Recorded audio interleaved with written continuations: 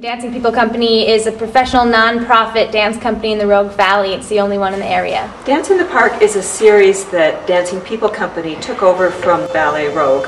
So it has a tradition of being in Ashland in the Lithia Bandshell for over 25 years. This will be Dancing People Company's second annual Dance in the Park performance. For me, it conjures feelings of like a, an outdoor symphony playing costumes are moving in the wind. All the audience is set up on the hill with parasols and picnics and really a lovely way to spend a weekend in Ashland.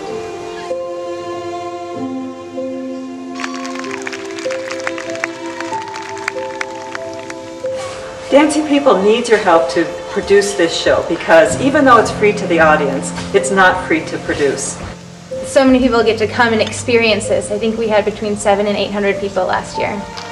Blankets out on the grass and just a, a full-on enjoyment, like the best way to experience summer. Thank you for your support.